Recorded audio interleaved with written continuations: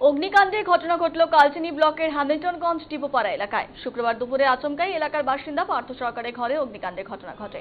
ঘটনাস্থলে এলাকার বাসিন্দারা সবাই ছুটে এসে আগুন নেভাতে হাত লাগায়। ঘটনাস্থলে হাসিমারা দমকল কেন্দ্র থেকে একটি ইঞ্জিন এসে পৌঁছে আগুন পুরোপুরি নিয়ন্ত্রণে আনে। অগ্নিকাণ্ডে পার্থ সরকারের ঘরে আসবাবপত্র পুড়ে ছাই হয়ে গেছে। সম্ভবত শক সার্কিটের ফলে অগ্নিকাণ্ডের ঘটনা ঘটে।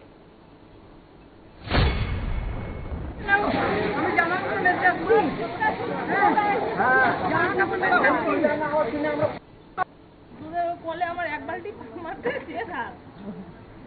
গেছে ফটো তুলো নাই ধোঁয়া পড়া ছিল তখন ফটো তুলবো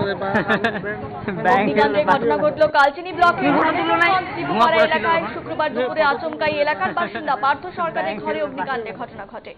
ঘটনাস্থলে এলাকার বাসিন্দারা সবাই ছুটে এসে আগুন নেভাতে হাত লাগায় এবং ঘটনাস্থলে হাসিমারা দমকল কেন্দ্র থেকে একটি ইঞ্জিন এসে পৌঁছে আগুন পুরোপুরি নিয়ন্ত্রণে আনে অগ্নিকাণ্ডে পার্থ সরকারের ঘরের আসবাবপত্র পুড়ে ছাই হয়ে গেছে সম্ভবত শক সার্কিটের ফলে অগ্নিকাণ্ড বলে সম্ভাবনা।